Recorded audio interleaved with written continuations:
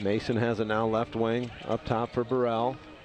Burrell on the drive now step back 13 footers up and good. Contested by Xavier Silas. Burrell with a solid shot though that time just over the top of the hand.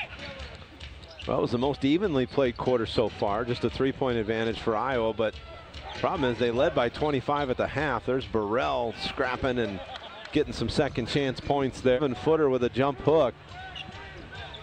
Here's Burrell on a three. That one's good. Texas finally heating up here. Yeah. Back for Burrell. Burrell's been active here. Another shot coming for Burrell, and he knocks down another three.